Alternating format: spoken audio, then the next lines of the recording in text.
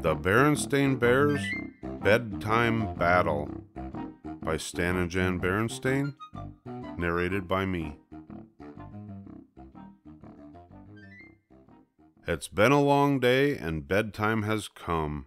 When little bears fight it, tired grown ups succumb. Every morning, the members of the bear family woke up with a smile. They patiently took turns with their morning wash up. They got through breakfast without so much as a harsh word. Things also went well at lunch and dinner. But as the sun set and the moon rose, a change came over the big treehouse down a sunny dirt road deep in bear country. The birds became alert in their nests, the ears of the squirrels perked up, even the ladybugs decided not to fly away home. By eight o'clock, all eyes were on the big treehouse. Why? Because the great bedtime battle was about to begin. It began with a simple statement from Papa Bear. It's eight o'clock, cubs. Time for bed. Bedtime already? said Brother Bear. Gee, I'm just getting my Jurassic dinosaurs lined up to fight my Cretaceous dinosaurs. That's all very well, said Papa, but quite aside from the fact that they could never have fought because they lived millions of years apart, it happens to be bedtime. But nobody goes to bed at eight o'clock anymore, protested Brother. Besides, I'm older than Sister, so I should be allowed to stay up later. That's not fair, said Sister. It's not my fault that I'm younger than Brother.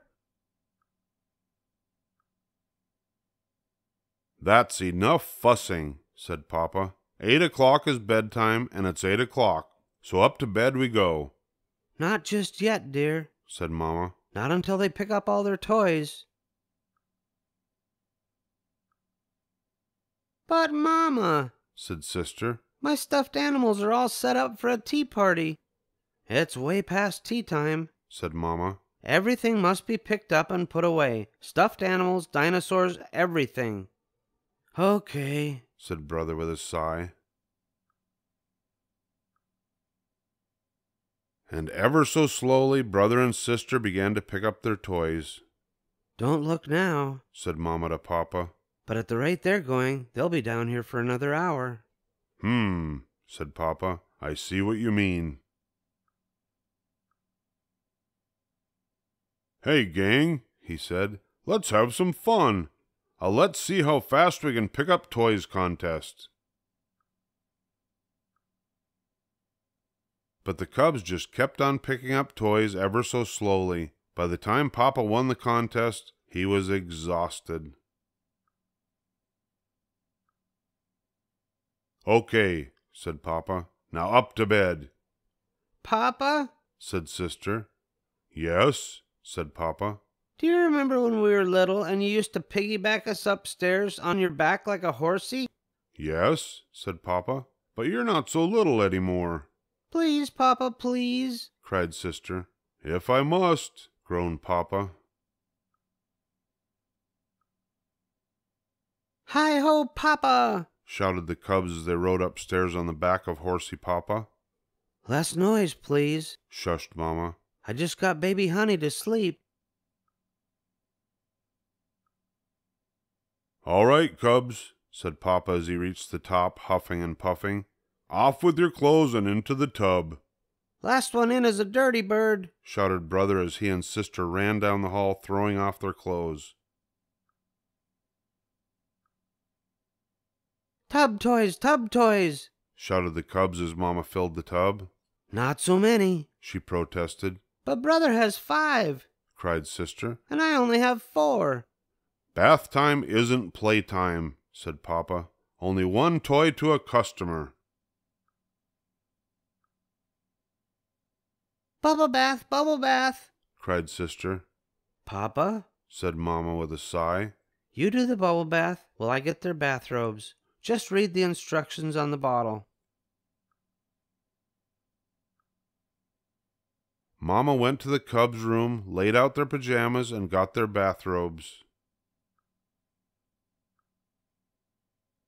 But when she headed back to the bathroom, a strange sight greeted her eyes. Oh my goodness, Papa, what have you done? cried Mamma. The bathroom was filled with thousands and thousands of pink bubbles. I just followed the instructions, he said. I poured in a cupful just as it says. But if you'll look more closely, said Mamma, you'll see that it says capful, not cupful. After a while, the bubbles were gone, and all that was left was a slippery pink goo. Be careful, dear, said Mamma as she rinsed the cubs with the shower attachment. The floor is quite slippery. But her warning came too late. Aye! screamed Papa as he crashed to the floor. Mamma helped him up. Then she rubbed the cubs dry with a big nubby towel, and they got into their bathrobes.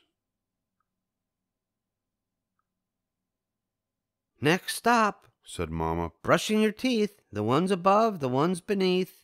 Not that old white toothpaste, protested Brother. Nobody uses white toothpaste anymore. Brother's right, said Sister. Lizzie Bruin has red, white, and blue toothpaste.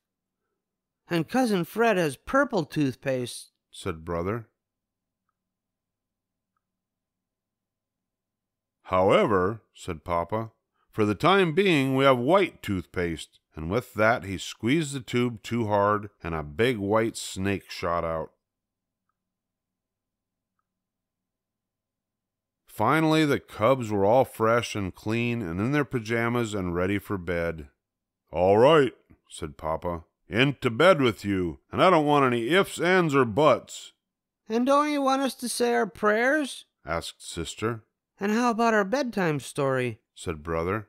Go ahead, say your prayers said Mamma. By all means, said Papa. Bless Mamma, bless Papa, bless Honey Bear, bless Little Lady, bless Kitty, bless Grizzly Gramps, bless Grizzly Gran. Here's the bedtime story I want, said Sister. The three little kittens, said Brother. Not that mamby-pamby story. Here's a real story. The Three Billy Goats Gruff.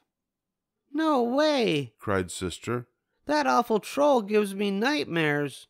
Please, said Mamma. There's no need to fuss. It's very simple. I'll read the three little kittens to Sister, and Papa will read the three Billy Goats Gruff to Brother. So Brother got comfortable on Papa's lap, and Sister got comfortable on Mamma's lap but it had been quite a battle, and as they began to read, Mamma's and Papa's eyes started closing. Soon they were fast asleep. Sister slipped down off Mamma's lap. Brother slipped down off Papa's lap. Look, said Sister. They fell asleep. What should we do? Let's let them sleep, said Brother. They need their rest. End.